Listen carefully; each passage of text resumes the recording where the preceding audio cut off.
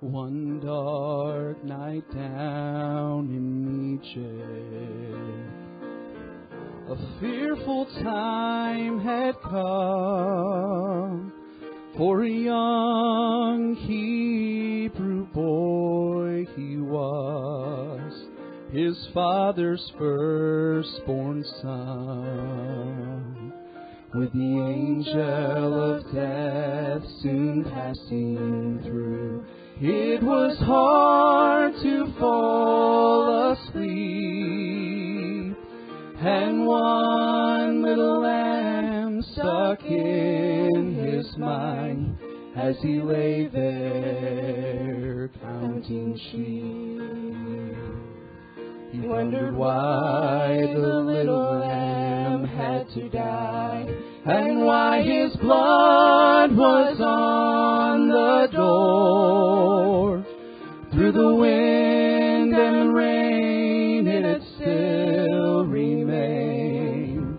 He wanted to be sure, so he called out to his father with a trembling voice so scared, crying, Father, please will you look and see if the blood is still there. He said, Son, now don't you worry, for the blood is there to stay. The wind may blow and the rain may fall, but it just won't wash away. The blood will stand the raging storm. It's been applied with loving care. Safe, secure, you can rest assured that the blood is still there. Looking over all the damage the storm had left behind, a flood of endless questions and doubt had filled my mind, and the fear that gripped my troubled soul brought me to my knees in prayer, crying, Father, please will you look and see if the blood is said, Son, now don't you worry, for the blood is there to stay. The wind may blow and the rain may fall, but it just won't wash away. The blood will stand the raging storm. It's been applied with loving care. Safe, secure, you can rest assured that the blood is still there. Safe, secure, you can rest assured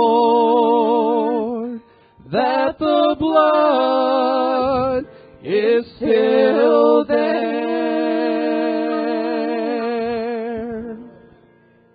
That's a good song. Amen. That's great. Thank you, Joe Beck. I appreciate it. Let's open our Bibles to Romans chapter 5. Romans 5. It, is it loud on the platform to you guys? A little bit. It's a little overwhelming down here. How's it out there to you guys? Out there, is it is it good? All right, it's a little loud up here, Brother Greg, this morning, but that's okay. I enjoyed that song. I enjoy the emotion. Amen. I do. I think it's good. I, you know, we cry over the silliest thing. People cry over losing a football game. Brother Marty, Ohio State, they got whacked. He just cries and cries. Yeah, he's shouting today. He was crying two or three weeks ago. Yeah. So uh, we cry over basketball. You know, we cry over the most foolish things. It's okay to get worked up about spiritual things and let the tears flow. Thank you, Beck. I enjoyed that. Amen. Let's stand together. We're going to read two verses, jump into the message this morning. Romans 5. Look at the very end of the chapter, verse 20. We're going to pick it up. I, I would like to read verses 17. I'd like to actually begin reading verse number 12, but for sake of time, I'm just going to read 20 and 21. We'll refer to the passage. Moreover, the law entered that the offense might abound. But where sin abounded, grace did much more abound that as sin hath reigned unto death, even so might grace reign through righteousness unto eternal life by Jesus Christ our Lord. I'd like to speak to you on this subject. In the junk, there's a jewel. In the junk, there's a jewel. Let's pray together. Father, we love you. We thank you that the blood of Jesus Christ cleanseth us from all sin. And when it's applied, it's permanent. Thank you for that. Thank you for the good song. Now, would you please speak to our hearts, dear Spirit of God? I ask and pray in Jesus' name and amen. Be seated, please, if you will. Let me ask you to do your best to remain seated. We had a lot of folks had to leave during uh, announcement time. I'd like to keep the distractions to a minimum uh, for the next 30, 35 minutes in this message. Speaking of Brother Marty, several years ago, we were preparing for our first or second yard mart. I don't remember exactly all the details of this perfectly, but I'm giving you the, the pretty much the gist of what happened. Marty was working at Grant Park, and you had a coworker whose mother died, and they were going to empty out the, the, the, the house. Am I right so far? You think so? You're Hey, look, man, you're not as old as I am. We're, we're in trouble, okay? But he's emptying out the house, and you know, Marty somehow Marty finds out that this guy has got this. His mother passed away. They got a, a house full of her stuff, and Marty says, Man, our church is having a great big indoor yard sale. And the guy says, Well, look, take everything. And so the, somebody went, if you went, people went, loaded up boxes, boxes, boxes, brought it in. And I don't remember who was going through it. Most of it, you know, it's probably 50 50. Some of it we couldn't use, some of it we could use. And somebody was digging through a box. Now, you know what, you know what yard sales, right? One man's trash is another man's treasure, right? So they're digging through this box and you know throwing out the stuff that's that's of no use to us, and then in the middle of this box of stuff that was no use, they ran across a couple little jewelry boxes. And I think it was Pam or somebody. Some of you ladies might have been doing that, but they said, "Man, this uh, Dorothy, you might have been involved in that." Mary Miracle, I think, was. And somebody said, "You know, this is not cosmetic jewelry," and some of it was. And so they took it to a jeweler in town and most of it was cosmetic, but there, I think there were three pieces that were that were really nice. And we sold those. I think we got something like five, six hundred dollars total for those three pieces of jewelry, those three rings. In the midst of all that junk, there were some jewels in a box of mostly trash. There was a treasure.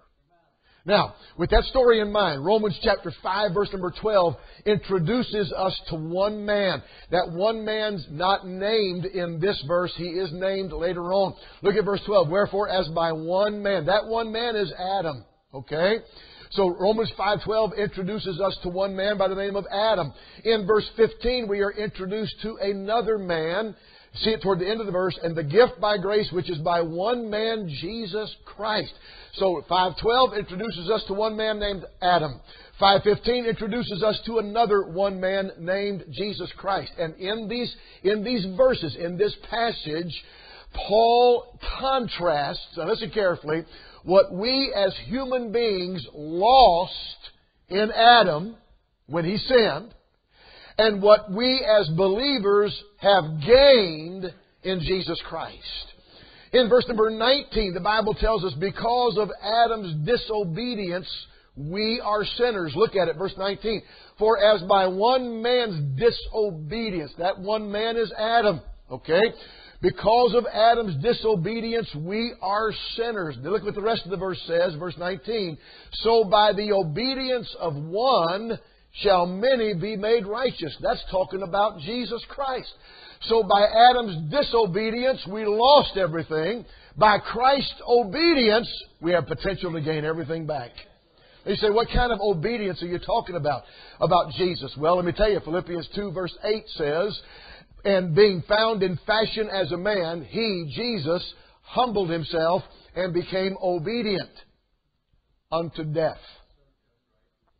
Even the death of the cross. So because Jesus Christ came to earth, went to the cross, died, was buried, and rose again, which is the gospel of Jesus Christ. Because He did that, we can be saved. Because Christ came and went to the cross, died, was buried, rose again, we can have back, we can regain everything plus what we lost in Adam. We're all sinners by birth because of Adam's disobedience. Now, you might sit here this morning and think to yourself, boy, when I get to heaven, I'm going to give Adam a piece of my mind. I get my hands on Adam up at, remember folks, there's no killing in heaven, okay? Yeah, I'd give him a piece, causing all of this trouble because he couldn't keep his hands off of a piece of fruit. Couldn't keep his hands off an apple. How you know it was an apple? Could have been a fig. That's kind of, could have been an apple. Could have been a pear. Poor apple. Huh? Hey, wait till I get to heaven. I see Adam. I'm going to give you all because he couldn't keep his hands off of one piece of fruit. Now, folks, look, we're in bad shape because of Adam's disobedience, but lest we blame Adam. Look at verse 20. Moreover, the law entered that the offense might abound. So lest we just blame Adam acting like, watch it, we're the victims of his disobedience. That's sorry, Adam. Man, you wait till I get to heaven and see, I'll give him a piece of my mind. He caused all the human race, all this trouble, like we're the victims of Adam's disobedience.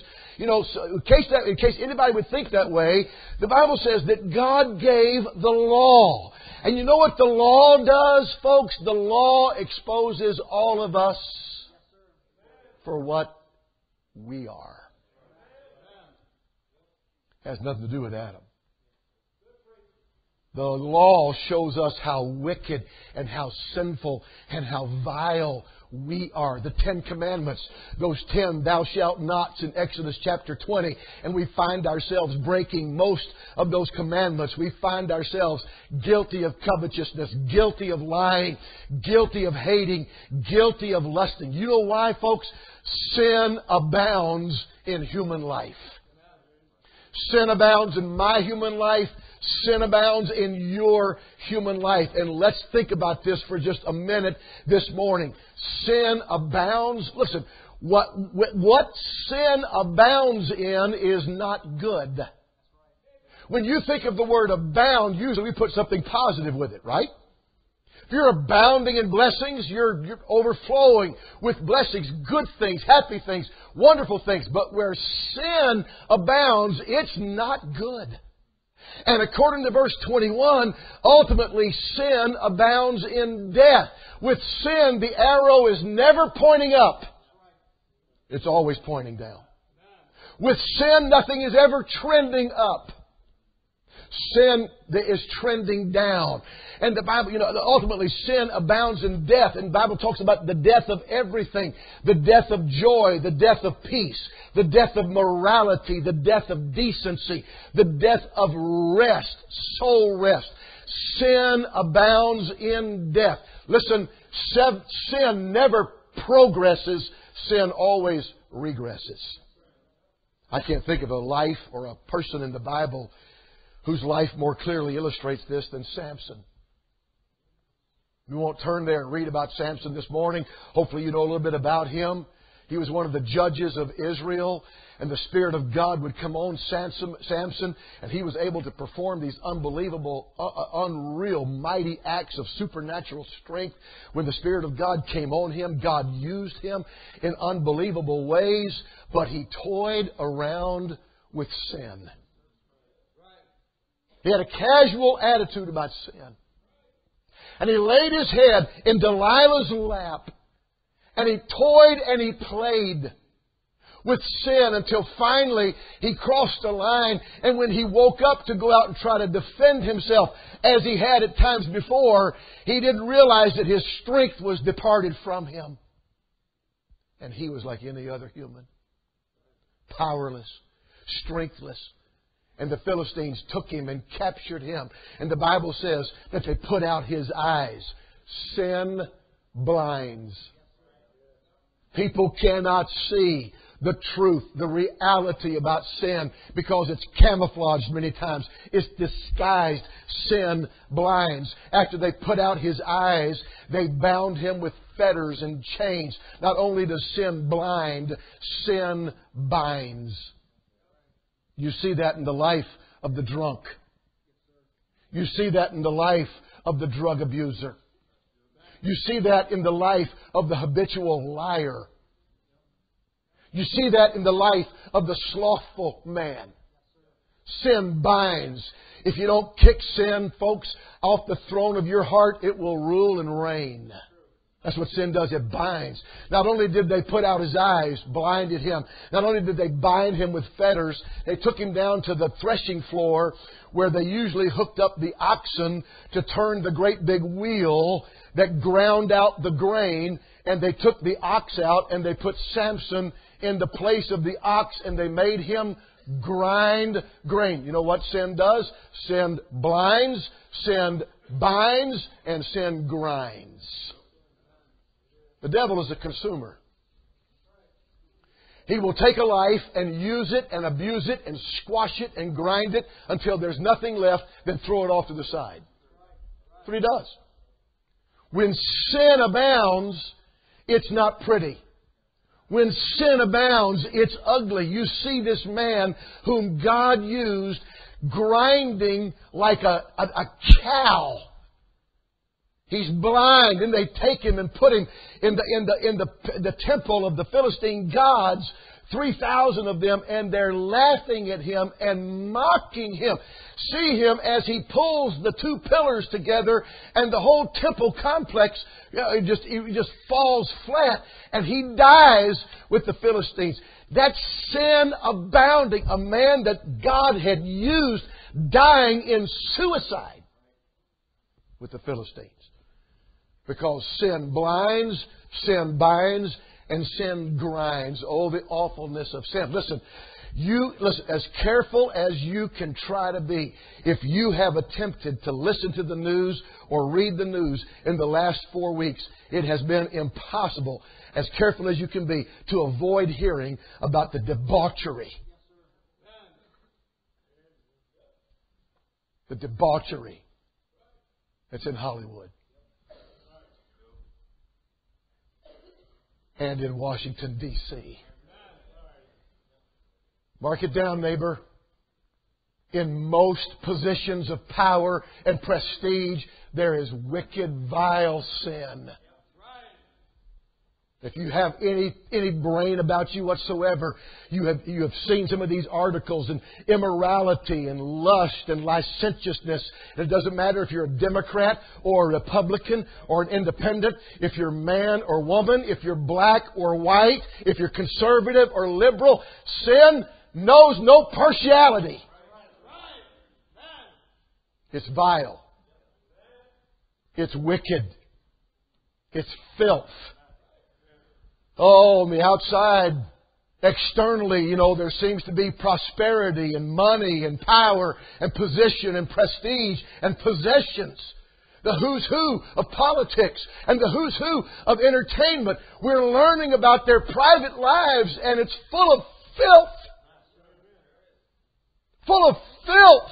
So much so that you can't read it. If you're smart, you just we see the headline and move on. Sin is exceedingly sinful. Here's the news story. The man kills his wife and his three kids. A mother kills herself and her children.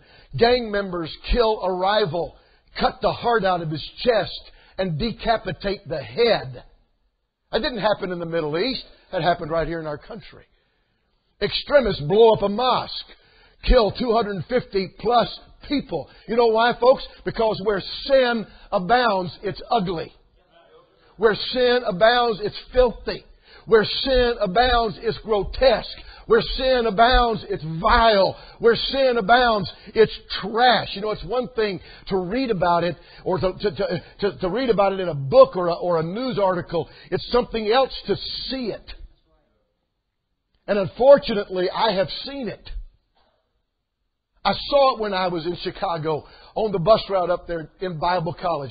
I saw the man in the suit and the tie with his hands on the parking meter on State Street and, and, and, and unshaven and disheveled and all dirty and vomiting, pardon me for being graphic, puking all over his tie and his suit from his drunkenness.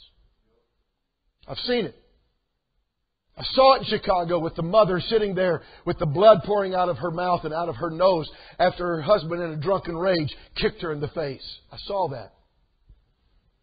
I saw the man lying on Division Street and had to divert the bus. And he's lying there with blood streaming out of his head on Division Street and a broken whiskey bottle in his hand. I've seen it. I saw it in Iowa, in rural Iowa in a town of two or three hundred, a cantaloupe and a watermelon town called Conesville, Iowa, where a 20 something year old stout young man in a drunken stupor beat the life out of a little two year old girl with his fists. I've seen it. I've seen it in Illinois. Teaching in Bible class years and years ago, a young teenage girl who grew up to be a 30 year old woman who one day took a gun, killed her boyfriend, her three kids, and herself. Right over here, 40 miles away. I've seen it. I've seen that, I've seen that in this building, in that little room back there between my office and the secretary's office, I have seen the numberless tears that have flowed down the cheeks of people who have been touched personally by the destructive nature of sin, either their sin or somebody else's sin that has affected them. Sometimes teenagers and children who had no choice in the matter whatsoever, and their lives affected by the awfulness of sin. The filth of it. The grotesque nature of it. Sin is awful. Do you get the picture, friend? Do you see this morning where sin abounds? Sin abounds unto death. When sin abounds, the arrow never points up. Where sin abounds, the arrow always points down. And if we, if we could put sin, if you will, if we could put sin in a great big box, I mean a huge box, and imaginary start walking through it, we would find death and we would find sorrow. We would find sadness and we would find hopelessness. And oh my, here's an abundance of immorality and, and lust. And oh no, here's an abundance of hatred and an abundance of murder and killing. And over here is an abundance of abusiveness and drunkenness and child beating and child molestation and child pornography. And here is lying and here is deceitfulness. And everywhere is this scene of destruction. There's no peace, there's no joy, there's no hope. We descend deeper and deeper into this box of sin. We find it more repulsive, more hopeless. Drug usage and adultery and homosexuality and lesbianism and transgenderism. We find the death of the biblical institution of marriage, biblical morality, biblical distinction of gender. Farther and farther we go, folks, the picture is getting darker and darker. Over here, it just gets more filthy. The love of money causing murder, causing betrayal. Deeper and deeper we go. The cursing of God, pride abounding, the worship of Satan in the occult world. Oh, the ruin, oh, the wretchedness, oh, the, the landscape is, is littered with destruction. Is there anything of any value? Is there anything of any worth? Is there anything that would create any kind of hope in this hopeless place, this awful place of abounding sin? Anything? Ah, but as we walk through this place of abounding sin, we notice a door in the floor. And on the door is stamped the word grace. And opening up that door to see what's behind it or beneath it marked grace, we follow some steps down into a bright and shining room where there is peace and joy and comfort and love. And in the middle of that bright and shining room, that, that there is a fountain that is overflowing with a liquid, but it's an unusual fountain. The liquid flowing from that fountain is not clear like water, and it's not it's not it's not the texture of water. In fact, it's a little bit uh, it's a little bit thicker than water. It's not water; it's blood. It's a fountain filled with blood. And friend, where sin abounds, abounds in number and abounds in disgust and abounds in slavery and abounds in filth and abounds in illness, grace abounds more. No, excuse me, I said that wrong. Grace doesn't abound just more, grace abounds much more. In all the trash, there's a treasure. In all the junk, there's a jewel. It's called the grace of God.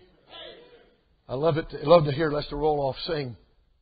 Somebody asked me the other day when Roloff was alive, when he preached, did he sing before he preached or after? Yes. He's saying before, during, and after. And if you get on the right website, this is one way you can use the internet for your good. You get on the right website, you can get those old songs by Lester Roloff.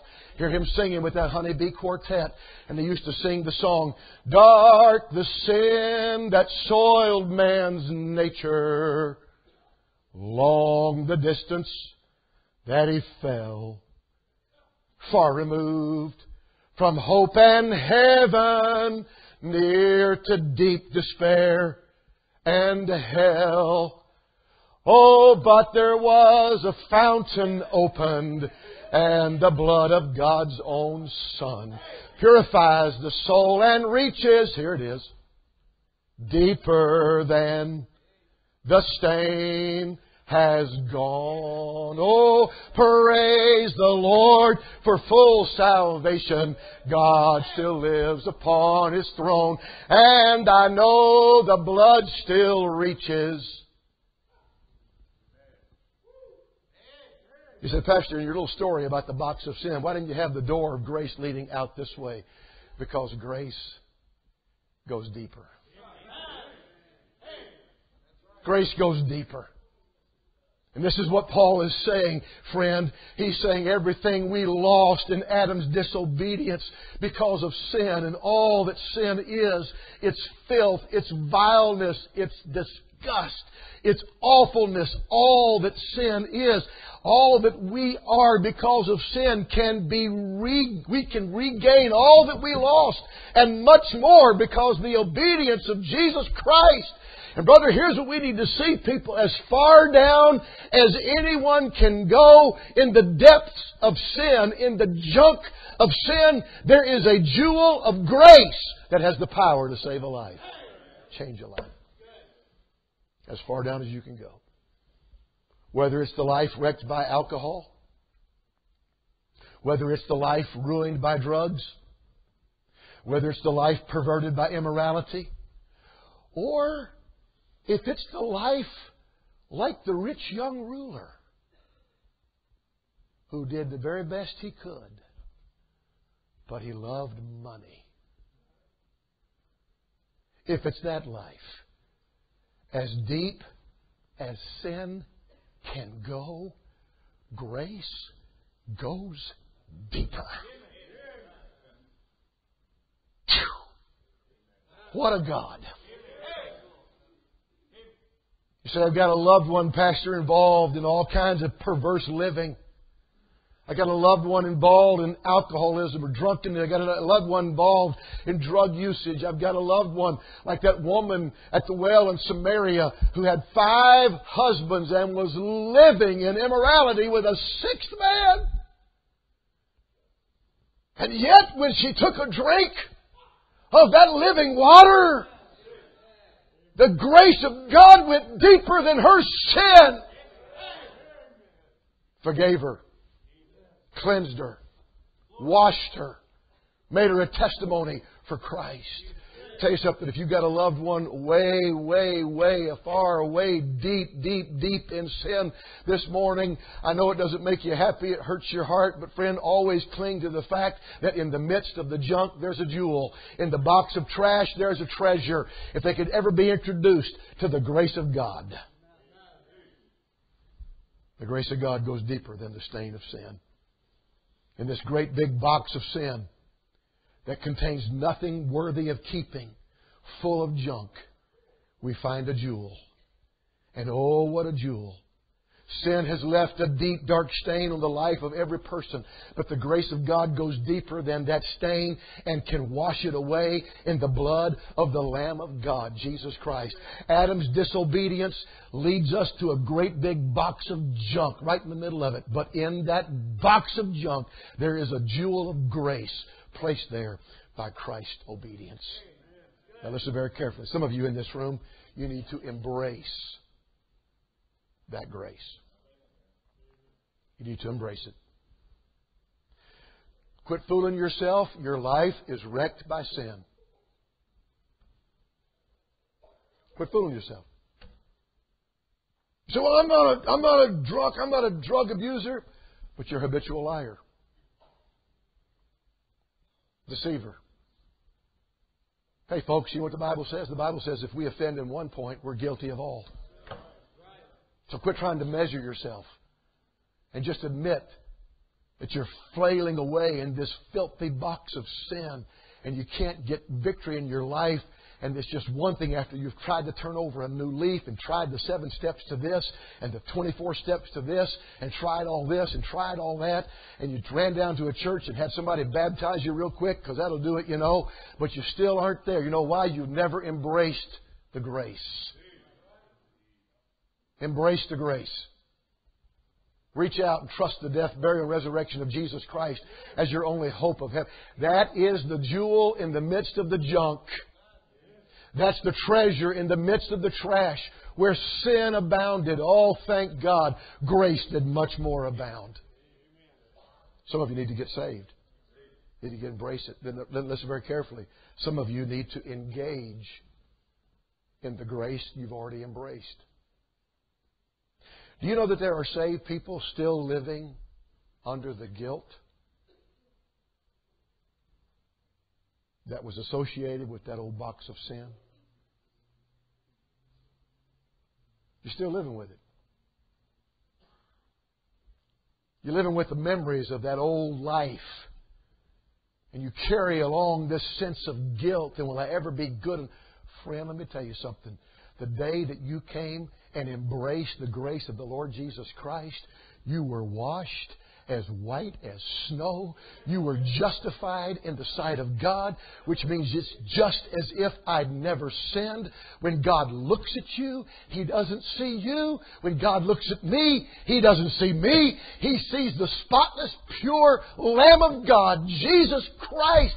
God's forgotten what we used to be. Engage that, man. Quit letting the devil use that old past against you. Quit letting the devil use that old life against you. The grace of God washed you. The grace of God cleaned you. The grace of God has made you a new creature in Christ Jesus. Behold, old things are passed away. All things are become new. Man, you're a new person in Christ. Enjoy what God has done in your life. Quit carrying it. Quit carrying it. Understand you're bought with a price, friend. You've heard the old story. I won't tell it as, as elaborately as it should be told. But somebody had passed away and they were having an auction of all, an estate auction, and this place was filled with things. And finally, the auctioneer came to this, uh, this old box, and in this old box was this old violin. And they kind of held it up and he said, Let's try to sell this violin and there was kind of a chuckle in the crowd. And he said, "Who'll give me a couple hundred dollars for this violin?" And there were no bids. And he brought it down. How about hundred and fifty for this old violin? How about hundred? And there was chuckles, and people were catcalling from the floor. Who'll give me seventy-five dollars? Who'll give me fifty dollars? Who'll give me twenty-five dollars for this old violin? And they were heckling him and catcalling. Get on to the next item. And finally, an older man from the back of the room uh, raised his hand and said, "Sir, uh, give me a moment." He walked forward. He said, Can I see that violin? He took that violin in his hand, plucked the cord, the strings a little bit, twisted the knobs at the end, took the bow out of the, out of the case, and began to play the most beautiful melody you could ever hear. Beautiful melody. Handed it back to the auctioneer. The room was absolutely perfectly still and quiet. He said, What do I hear for a bid? Somebody said, I'll give you a $100. Over here said, Give me two. Over here, three. Over here, four. Over here, five. Over here, six. You know what the lesson of the story is? What matters is whose hands the violin is in. And when you came to the Lord Jesus Christ, you might have come a broken, bowed, blinded, binded, grinded sinner. But when you got saved, brother, you became somebody in the Lord Jesus Christ. Let it go. God has. Run over here and bring back. God, I'm I'm so sorry for all that stuff I used to do. I feel. God said, "What stuff? What are you talking about? What stuff? Let it go. That's what grace does. Grace doesn't just give us more. Don't forget that little four word, four letter word. Grace gives us much more. Much more. Friend, in the junk, in the midst of the junk, there is a jewel. In the midst of the trash, there is a treasure. Where sin abounds, it's ugly, it's ugly, it's vile, it's wicked, it's perverse, it's dark, it's hopeless, it's restlessness. Ah, but where grace abounds, in the midst of that junk, there is the jewel of grace, and grace restores the peace and the joy and the love and the usefulness and the rest rest in your soul. There's a jewel in the junk. There's a treasure in the trash called the grace of God. Embrace it. If you never have, embrace it today. If you've embraced it, engage it. I had no idea they were going to sing the song, The Blood is Still There. Still there. That's what grace does. It's still there. Our heads are bowed, our eyes are closed. Thank you for listening this morning. Heavenly Father, I just want to pause for a moment before we give the invitation and thank you for your abounding, limitless, wonderful grace. Thank you for grace. Thank you for the jewel, the treasure of grace in the midst of all the junk and trash of sin. There's a jewel and treasure of grace. Thank you for what it does for us. Our heads are bowed, our eyes are closed. Ladies, I'm going to ask you to find the song this morning, Amazing Grace, How Sweet the Sound, that saved a wretch like me. How many would say this morning, Pastor, I'm saved, but I really need to engage the power of God's grace? And quit living under guilt of what God has forgotten and forgiven. By grace has done much more. I really need to engage that. I've been struggling with that. Would you slip a hand up this morning? I see your hands. God bless you being honest. Amen. Amen. I see your hands. God bless you. Thank you. Take your hands down. There are many in this room including the one doing the speaking right now. And we personally experienced the destructive nature of sin. It beat us down. It blinded us. It binded us. It grinded us. There was no hope, no peace, no joy. And then we got saved. God's forgotten it. God's forgiven it. It's past. It's over. What He's given us is much more. Embrace, engage it, folks, and, and live it. Now, who's here this morning would say, Pastor, I've never embraced true salvation. I have never been saved by the grace of God. I've tried seven steps to this and 25 steps to this and all this stuff, but I've never been saved by the grace of God. Pray for me. Would you slip your hand up wherever you may be sitting? Zip it up and right back down. Anybody like that here this morning? I've not been saved, Pastor Anglea. I don't know that I'm on my way to heaven when I die. Anybody like that in the room this morning? I'm not sure that I'm saved.